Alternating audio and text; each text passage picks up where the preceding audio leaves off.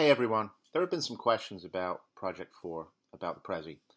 Let's uh, take a look at approaching this project. The project is for you to create a presentation using Prezi.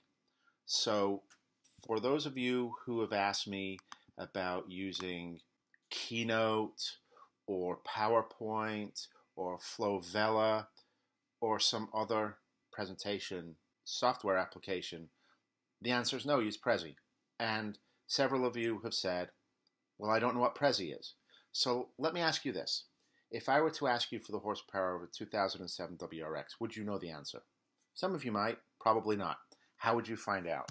You go to Google or YouTube. YouTube is probably uh, the largest repository of technical communication uh, that there is.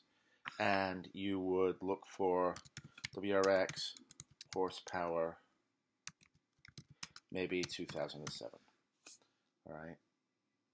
And you would search for that, and you would find out that it's 224. So you don't know what Prezi is. How do we resolve a problem um, like this? How about what is Prezi? And here we go. What is Prezi? It's a better way to present. Don't always buy the marketing spin, but this is their headline. So let's go to Prezi.com. And on Prezi.com, let's click Get Started. I don't want you to do a 14 day trial. I don't want you to buy anything. Let's use the free version. Well, you might ask, how do I how do I find the free version? Look, there's seven dollars a month and nineteen dollars a month and fifty nine dollars a month. Well, be brave. Click around. Are you a business? Hmm. That doesn't look free. Am I education? That's possible, but that doesn't look free either. Am I an individual? Again, not finding the free stuff. What if I click basic? Ah, there we go. Free.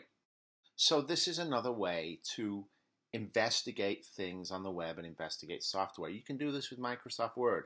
Just click around, see what's going on, be inquisitive. And now you can create your account. So you need to enter your first name, your last name, your email, prove that you're not a robot by clicking the button, and then create your free basic account. That's it. That gets you started with Prezi. Note that there are tutorials on this website, on the Prezi site, where you can find out more how to use it, or you can just try it. Just try clicking around and creating stuff. See you online.